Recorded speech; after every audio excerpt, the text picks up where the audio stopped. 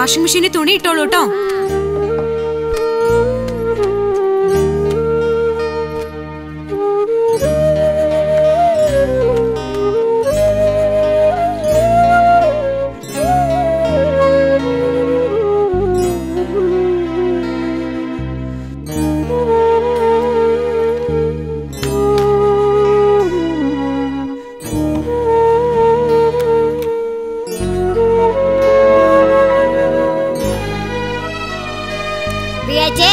ഓ ഞാൻ തുണി തീർച്ചയായിട്ടും വീട്ടിൽ പോകട്ടാ ആയിക്കോട്ടെ.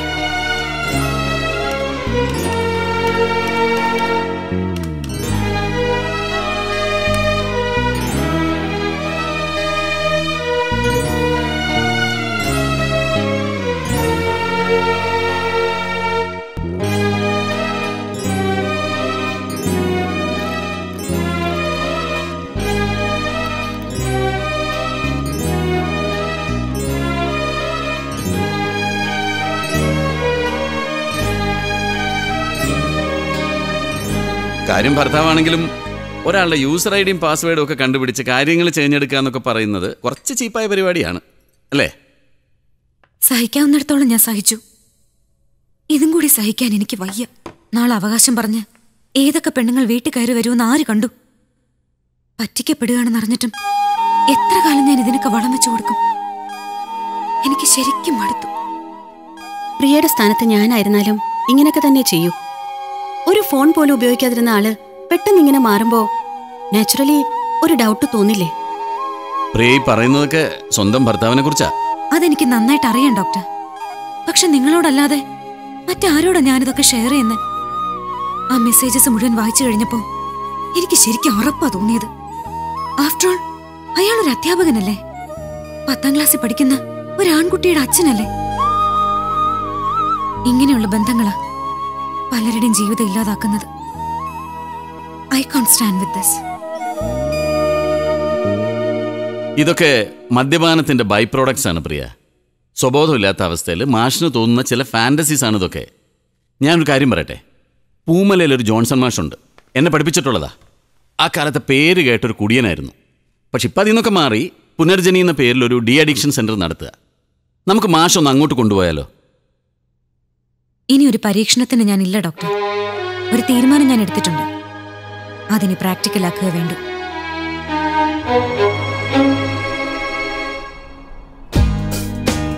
അല്ല മാഷെ ഈ വെർച്വൽ വേൾഡ് നമ്മൾ കാണുന്നൊന്ന് റിയൽ ആവണമെന്നില്ലല്ലോ.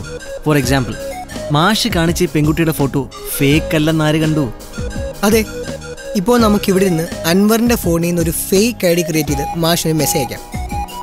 ഞങ്ങളാണ് ആ മെസ്സേജ് അയച്ചതെന്ന് മാഷ് എങ്ങനെ മനസ്സിലാവും? എന്റെ ജില്ല പത്തിരുപത് കൊല്ലമായിട്ട് പിള്ളേരെ പഠിപ്പിക്കുന്ന ഒരു അധ്യാപകനല്ലേ ഞാൻ? ഈ കുരുത്തം കെട്ടത് നിങ്ങളൊക്കെ എത്ര എണ്ണത്തിലാ കാണുന്നത്? ഇതൊക്കെ മനസ്സിലാക്കാൻ അധികം സമയം വേണം. എനിക്ക് ആദ്യമായിട്ടൊരു പെണ്ണിന്റെ മെസ്സേജ് വന്നപ്പോ ഒന്ന് പതറിയെന്നുള്ളത് സത്യ. പക്ഷെ ഞാൻ അന്ന് അതിന് റിപ്ലൈ ചെയ്യായിരുന്നത് ആ മെസ്സേജിന്റെ ഭാഷയ്ക്ക് ഒരു പെണ്ണിന്റെ മനസ്സുണ്ടായിരുന്നില്ല. അതുകൊണ്ടാണ് അത് നിങ്ങളുടെ ആരുടെ കുരുത്തക്കേടാന്നുള്ളത് എനിക്ക് മനസ്സിലായി. പിന്നെ ഞാൻ ചോദിച്ചില്ല എന്ന് മാത്രം. പക്ഷെ ഇതങ്ങനെയല്ല. ഇവളുമായിട്ട് സംസാരിക്കുമ്പോൾ നമുക്കറിയാം. ഇവളുടെ ഓരോ വാക്കിലുമുണ്ട് ഒരു പെൺമനസ്സിന്റെ പിടപ്പ്. ഓരോ അക്ഷരത്തിലുണ്ട് ഒരു പെണ്ണിന്റെ ചൂട്. ഇന്ന് അവൾ അയച്ച മെസ്സേജിന് മറുപടിയായിട്ട് ഐ ലവ് യു എന്ന് തിരിച്ചയച്ചപ്പോൾ എന്റെ നെഞ്ചി പിടയ്ക്കുന്ന ശബ്ദം എനിക്ക് തന്നെ കേൾക്കായിരുന്നു. ഭാസ്കര ഒരു പാട്ടുണ്ട്. വാസന്ത പഞ്ചമി നാളിൽ വരുമെന്നൊരു കിനാവു കണ്ടു വരുമെന്നൊരു കിനാവു കണ്ടു. കിളിവാതിലിൽ മിഴിയും നട്ടു കാത്തിരുന്നു ഞാൻ. കിളിവാതിലിന് പകരം ലാപ്ടോപ്പിന്റെ സ്ക്രീനാണെന്നുള്ള വ്യത്യാസമുള്ളൂ അല്ലേ മാഷേ? ഏയ് തീർന്നോ? I want more. എനിക്കിത് കുറച്ചുകൂടി കൂടി മാഷേ ഇന്ന് ഒന്നാം തീയതിയാ. ഛേ മാഷെ മതി മാഷെ ഓവറാക്കണ്ട. മാഷ് ഇപ്പൊ വീട്ടിൽ പോ. ബാക്കി നമുക്ക് നാളെ കൂടാം. കുടിക്കണമെന്നൊക്കെ വിചാരിച്ചാൽ ഞാൻ സംഘടിപ്പിക്കും. വേണമെന്നുള്ളവർക്ക് എന്റെ കൂടെ വരാം. നീ വരുന്നോ? ബാ. വേണ്ട മാഷെ ഇപ്പൊ വീട്ടിലേക്ക് ചെല്ലി. ഏയ് വീട്ടിൽ പോകണോ വേണ്ടെന്നൊക്കെ ഞാൻ തീരുമാനിച്ചോളാം? കൈയെടുക്കടാ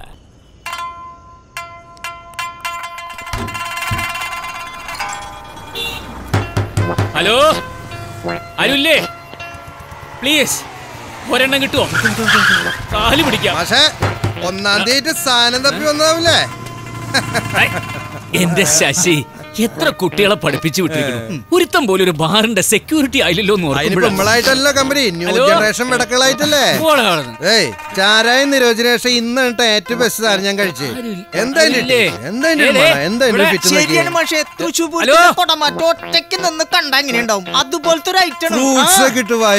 റോസാപ്പൂവിന്റെ ഗന്ധം. എന്താ എവിടെ? സാധനം കിട്ടി തന്നേക്കില്ല. അവിടെ പോയിട്ട് കഴിക്കണം. ആ, അല്ല എനിക്ക് മാസ്ക് വേണ? ഫ്രൂട്ട്സ് ഇട്ടാണെങ്കിൽ കുഴപ്പമില്ല ലിവറിന് നല്ലതാ. മാഷേ എടുത്തോ. എവിടെ? ഏ? സാധനമൊക്കെ ഇഷ്ടം പോലെ ഉണ്ട്. പക്ഷെ ചെറിയ പ്രശ്നം. എന്താടാ? ആന്റിയുടെ അടുത്തേ തൊഴിൽ രഹിതകളായിട്ടുള്ള രണ്ട് പെൺകുട്ടികളുണ്ട്. പാവങ്ങളാ. ആ. അത് കൂടെ സമ്മതിക്കുകയാണെങ്കിൽ സന്തോഷമായി ആന്റി പറഞ്ഞേ. എന്ന് വെച്ചാ? എന്ന് വെച്ചാ തന്നെ. ആ. മാഷെ ഞാൻ പറഞ്ഞേക്ക്. എനിക്കതിന് താല്പര്യമില്ല. മാഷെ ഞാൻ പറഞ്ഞേക്ക്. ആ ശരിയാവില്ല പെൺകുട്ടികൾ നമ്മുടെ അടുത്തേക്ക് വരില്ല. നമുക്ക് എന്തെങ്കിലും ചില്ലറ കൊടുത്ത് അവരും കൂടെ അതല്ലേ ശരിയാവില്ല അതൊക്കെ ശരിയാവും.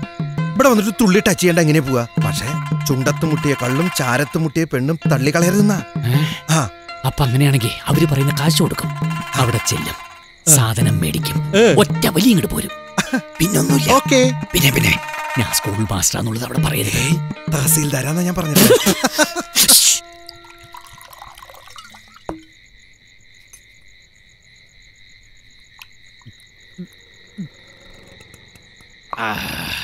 ആന്റി. ഓ വെള്ളം ചേർക്കാത്ത നല്ലിളം കള്ള് ചെല്ലിൻ വെള്ള ഗ്ലാസിൽ ചെലുത്തി മത്സ്യമാംസാദികളോടൊത്തുമേളിപ്പതിനേക്കാൾ സ്വർലോകത്തിൽ ലഭിക്കില്ലുപരി ഒരു സുഖം പോക വേദാന്തമേ നീ.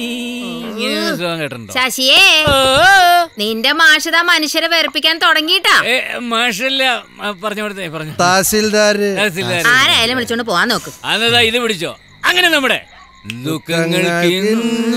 ഞാൻ അവധി. സ്വർഗത്തിൽ ഞാനും മൊഴിയെടുത്തു. അങ്ങനെ നമ്മുടെ ദുഃഖങ്ങൾക്ക് അവധി കൊടു പോലീസ്.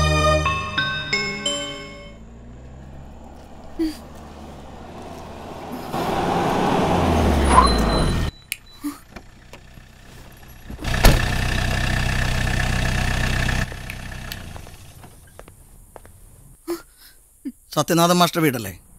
അതെ. എന്റെ പേര് പോൾ വർഗീസ്. മാസ്റ്റർ ഒരു പഴയ സ്റ്റുഡന്റാ. ഇറക്കടോ. അങ്ങനെ നമ്മുടെ ദുഃഖങ്ങൾക്ക്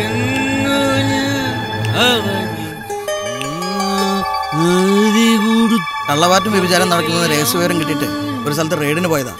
ഇത് രണ്ടും നടക്കുന്ന ഒരു നോട്ടോറിയസ് വീട്ടിൽ നിന്ന് അമ്മാഷിനെ കിട്ടിയത്. നാളെ പത്രത്തിൽ ചിലപ്പോ വ്യഭിചാര കുറ്റത്തിന് അധ്യാപകൻ അറസ്റ്റിൽ എന്നൊരു വാർത്ത വന്നാലോ? ഇനിയും നിങ്ങൾ അറിഞ്ഞില്ലെങ്കിൽ മാഷി വൃത്തിയോട് ആവർത്തിക്കും. എനിക്കെപ്പോഴും നിങ്ങളെ സഹായിക്കാൻ പറ്റിയെന്ന് വരില്ല. ബോധം വരുമ്പോ പറഞ്ഞു മനസ്സിലാക്കിയാൽ. മാഷേ മാഷേ. Thank you thank you good night അങ്ങനെ നമ്മുടെ സ്വപ്നങ്ങൾക്ക് സത്യേട്ടാ സത്യേട്ടാ. സത്യേട്ടാ എഴുന്നേക്ക്. എഴുന്നേക്ക്. അങ്ങോട്ടല്ല അകത്തേക്ക്. നടക്ക്. അങ്ങനെ നമ്മുടെ ദുഃഖങ്ങൾക്ക് അവധി കൊടു സ്വർഗത്തിൽ